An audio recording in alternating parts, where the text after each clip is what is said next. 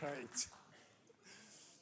Well, it's great to celebrate and it's great to rejoice in having God's word together. And so we're going to turn and read some of this precious word now. So please, um, if you haven't got a Bible, we're going to refer to this lots through our service today. So if you haven't got one and need one, raise your hand and one of our stewards will bring you a Bible. Um, but turn with me to John chapter 20.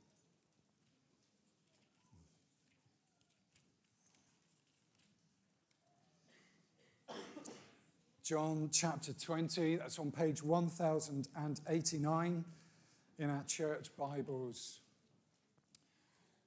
Yeah, John chapter 20. Verses 1 to 10. Early on the first day of the week, while it was still dark, Mary Magdalene went to the tomb and saw that the stone had been removed from the entrance. So she came running to Simon Peter and the other disciple the one Jesus loved, and said, They have taken the Lord out of the tomb, and we don't know where they've put him. So Peter and the other disciples started for the tomb. Both were running, but the other disciple outran Peter and reached the tomb first. He bent over and looked in at the strips of linen lying there, but did not go in. Then Simon Peter came along behind him and went straight into the tomb. He saw the strips of linen lying there, as well as the cloth that had been wrapped around Jesus' head. The cloth was still lying in its place, separate from the linen. Finally, the other disciple who had reached the tomb first also went inside. He saw and believed. They still did not understand from Scripture that Jesus had to rise from the dead. Then the disciples went back to where they were staying. Just take a seat. Um, and Tessa and Lizzie are going to come and read the next part of God's Word. Uh, do please open your Bibles back to page 1089. 1089. And starting at verse 11 of chapter 20. Thank you, both. Now Mary stood outside the tomb crying. As she wept, she bent over to look into the tomb and saw two angels in white seated where Jesus' body had been, one at the head and the other at the foot. They asked her, Woman, why are you crying? They have taken my Lord away, she said, and I don't know where they have put him. At this, she turned around and saw Jesus standing there, but she did not realize that it was Jesus. He asked her, Woman, why are you crying? Who is it you are looking for? Thinking he was the gardener, she said, Sir, if you have carried him away, tell me where, he, you, where you have put him, and I will get him.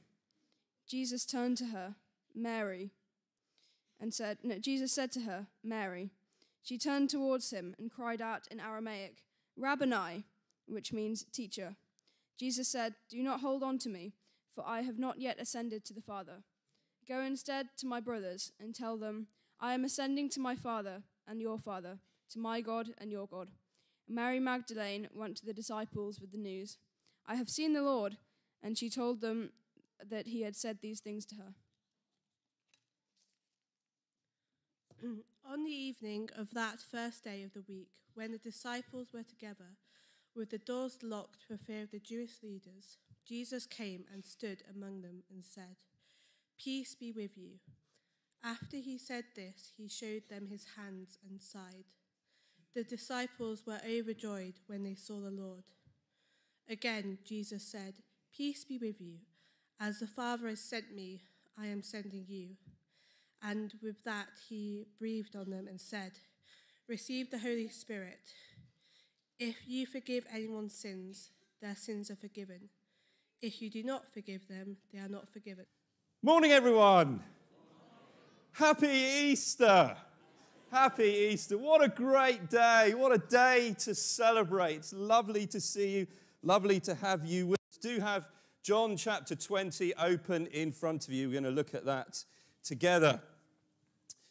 Now, kids, um, you're going to have to remind me, you're going to have to help me out here, okay? So, what happened uh, to Jesus on the first Good Friday?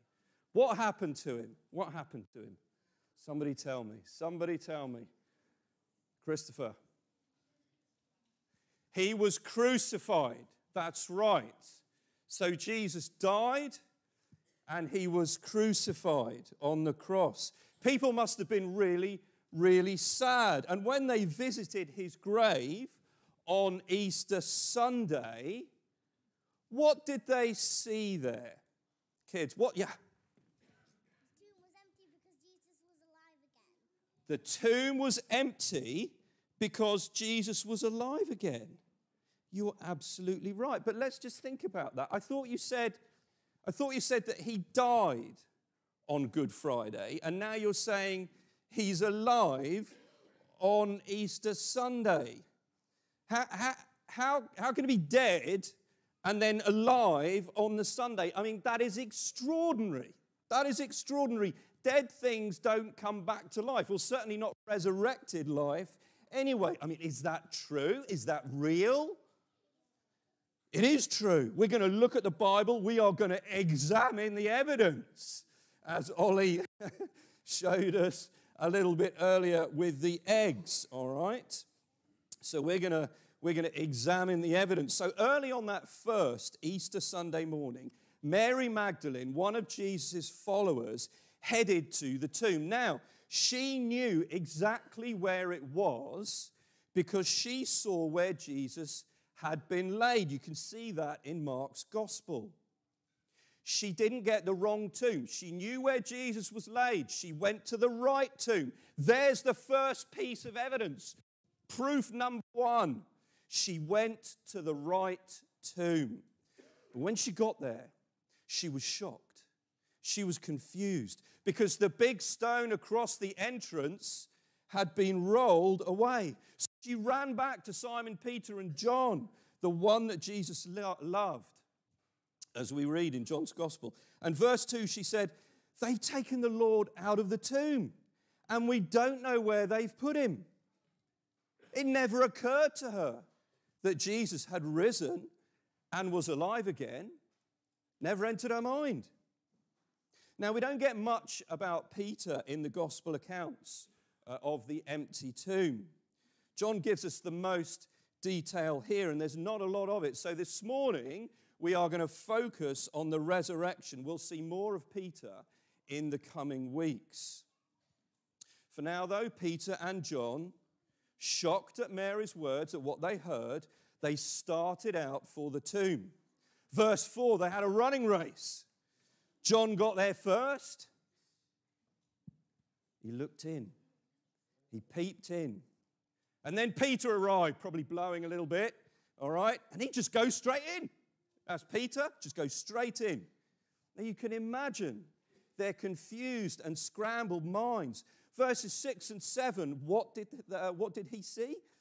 He saw the strips of linen used to wrap Jesus' body and the cloth that had been wrapped around his head, folded up. Now, back in chapter 19, verses 39 to 40, we are told that Joseph and Nicodemus put 75 pounds of spices of myrrh and aloes in the linen as they wrapped Jesus' body up. The linen and the spices were expensive, but they were the only things that were worth anything. A dead body wasn't worth anything. So Jesus' body couldn't have been stolen because robbers wouldn't have left the valuable bit behind and taken away a worthless, smelly body. They'd have taken the linen too if the body had been stolen. So here is another proof, another proof that John gives us that Jesus had risen, that the body had not been stolen. So it's the right tomb, the body hadn't been stolen. Now, how else might we prove somebody is alive?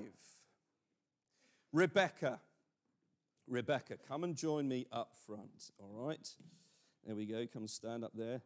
Now, Rebecca, you're alive, aren't you? Yes, marvelous, right, okay. Right, now, perhaps the first way we know that Rebecca is alive is by seeing she's alive. Okay? So, everyone, just shut your eyes for a moment. Now open them. And you can see her. You can see that Rebecca is alive. Who was the first person to see Jesus alive? Well, it was, yeah, it was Mary. You're absolutely right. It was. It was Mary Magdalene. She didn't recognize Jesus at first, uh, partly because I think that she wasn't expecting Jesus uh, to, have, to have risen from the dead, and partly I think because the resurrection body is the same, but it is different. That's what Paul suggests in 1 Corinthians 15. It's why Jesus could pass through a locked door to meet his disciples. It's the same body, but it was different. But Mary saw Jesus alive again. And once she'd been persuaded, verse 18, she went and told the disciples, I've seen the Lord. I've seen the Lord, the risen Lord Jesus. And who else saw him? Well, Peter and the disciples saw him. That's right, Peter. That first Easter Sunday evening, they saw him in that locked room. Can you show everyone your hands? That's it. Hold your hands up. So there we go. So you could. There's Rebecca showing you her hands. These are her hands. She is alive. Okay, you can put them down again now. Right, right grab a seat just for the moment. Okay. Now, likewise, look at verse 20. Look at verse 20. Jesus is with the disciples. We read after Jesus had said this, he showed them his hands and side. And the disciples were overjoyed when they saw the Lord. The disciples hadn't expected Jesus to rise from the dead. And so Jesus showed them his hands and his side where the wounds would have been. He hadn't been reincarnated, he had been resurrected. This really was his body, this really was him. And the disciples were overjoyed. They saw Jesus, the risen Jesus, proof that he was alive. Okay.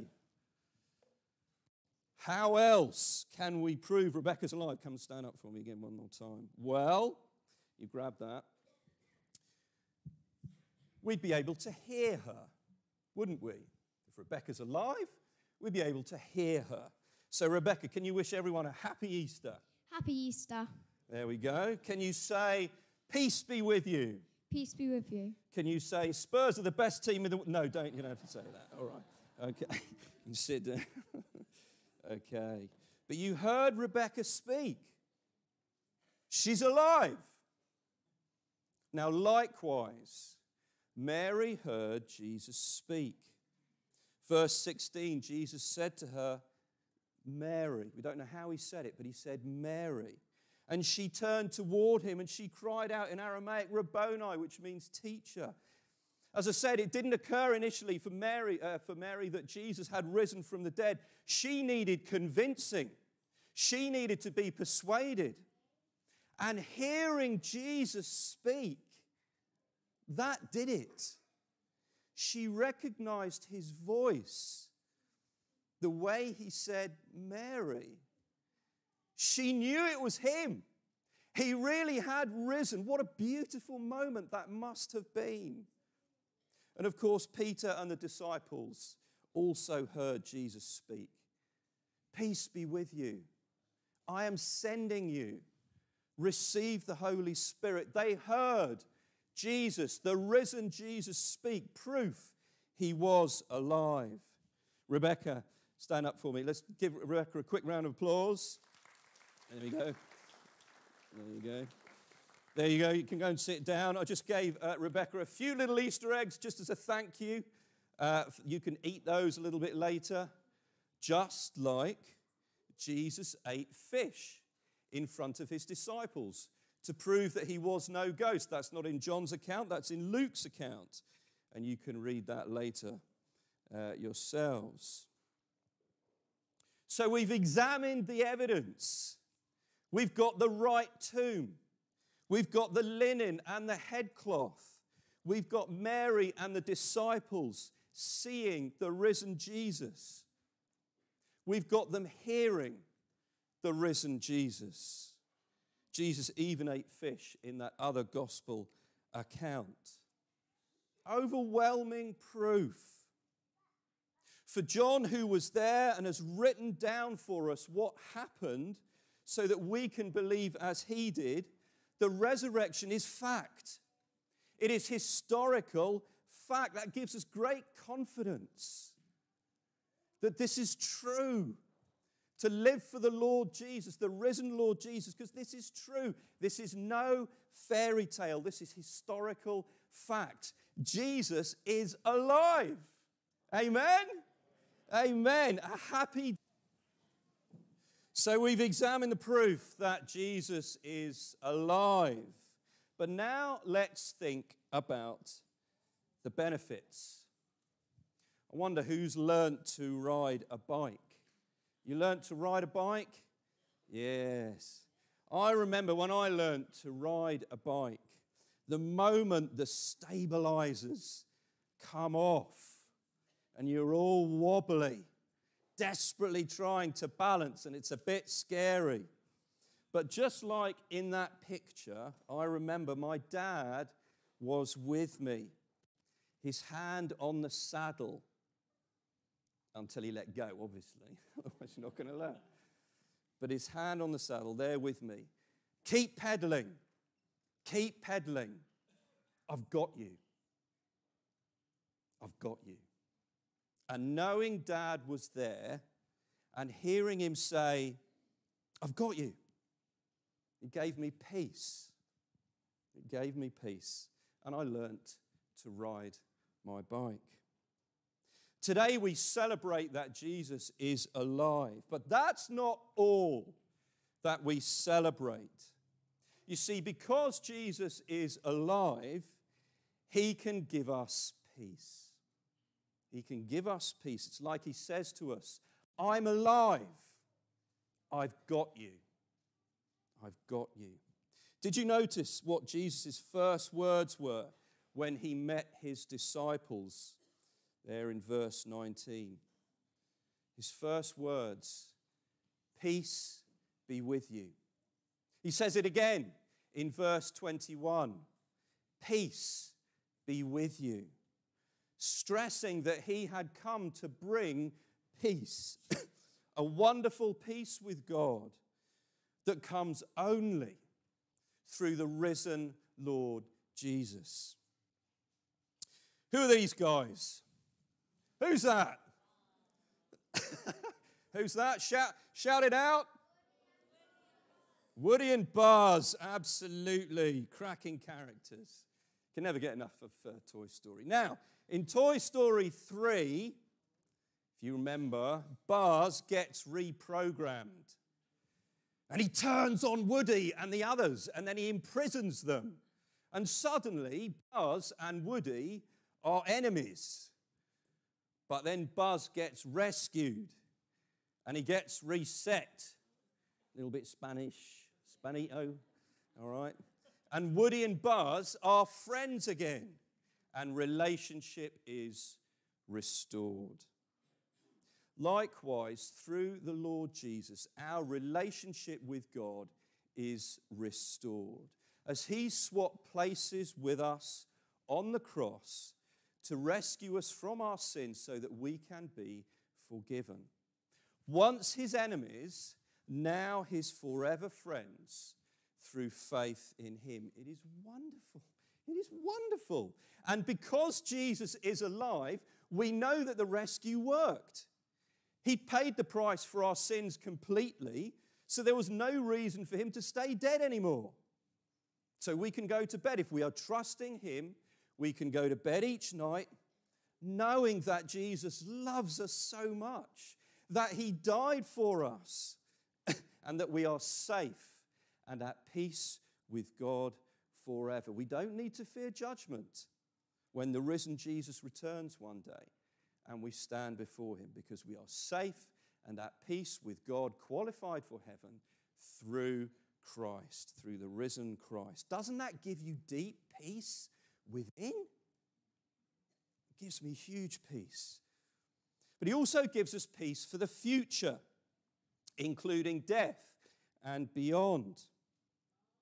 Jesus is alive. He has beaten death. So in him, we have the guarantee of life after death in heaven. As he promised when he raised Lazarus, said, Everyone who lives and believes in me shall never die. And so we can live confident that our eternal future is secure.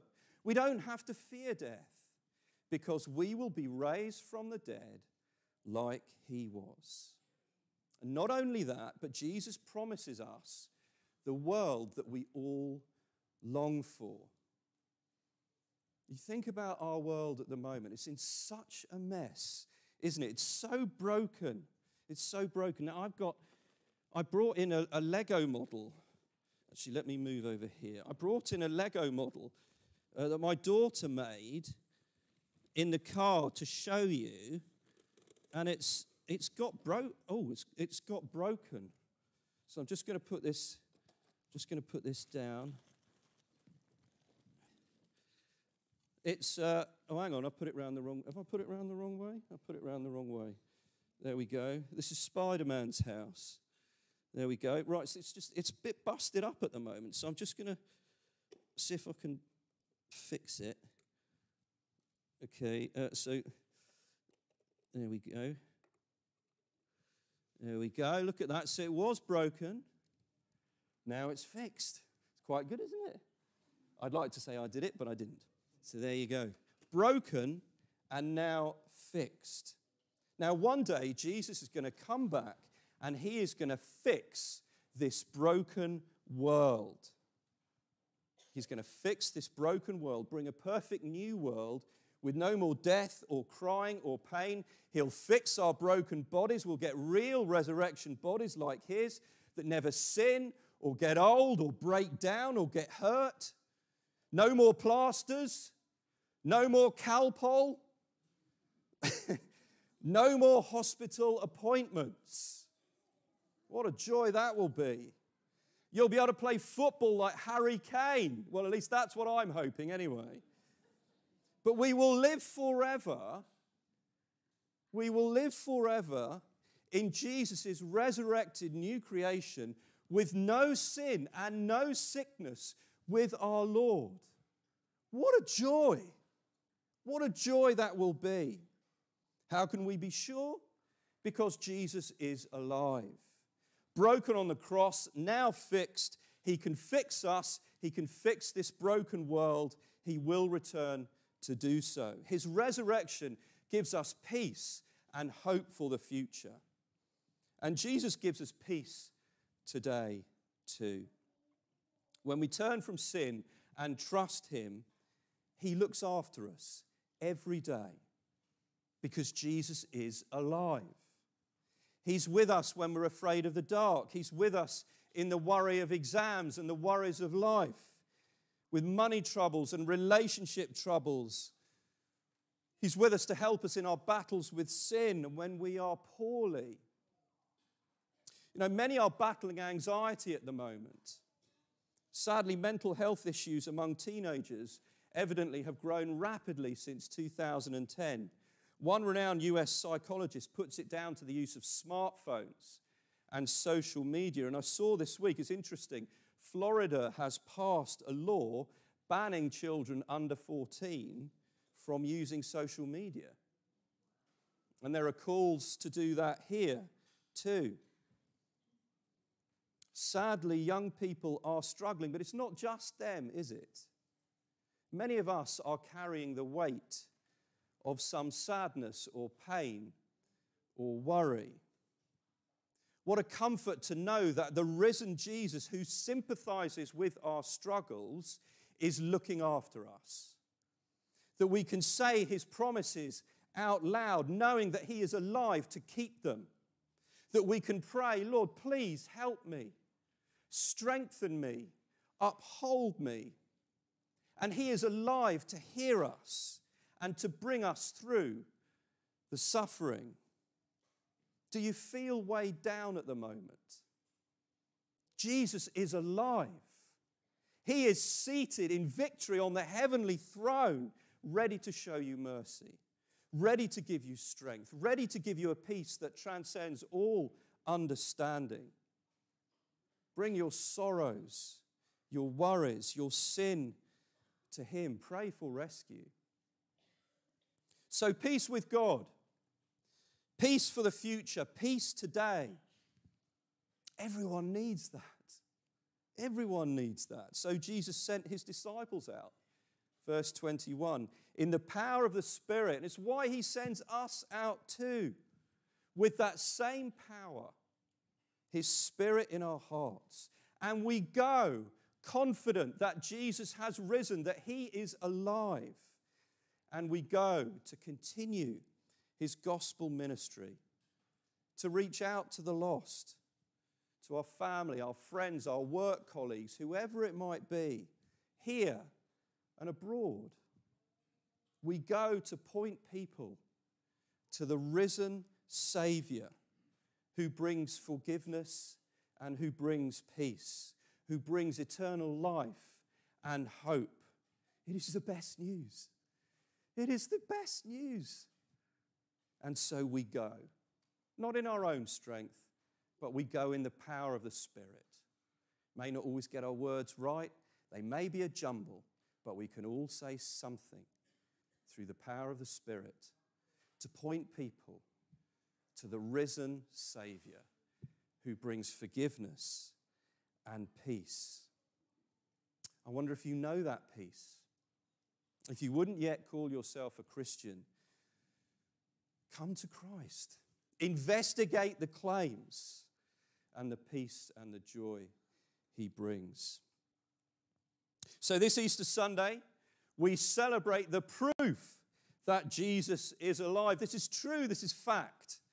And we celebrate the peace the risen Jesus gives us. How wonderful, how wonderful to know that Jesus is alive. Let me pray. Living Lord Jesus, we praise you that you are alive. We thank you for the proof that you, our glorious, mighty Savior, that you live.